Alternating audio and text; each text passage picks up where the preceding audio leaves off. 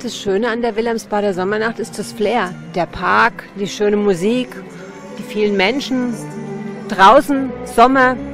Schön. Wir wollen ein bisschen Spaß haben. Und wir warten auch Freunde, die kommen. Und wir wollen etwas zusammen trinken und gute Musik hören. Und was finden Sie schön finden- Die Musik ist schön, auch die, die Personen auf dem...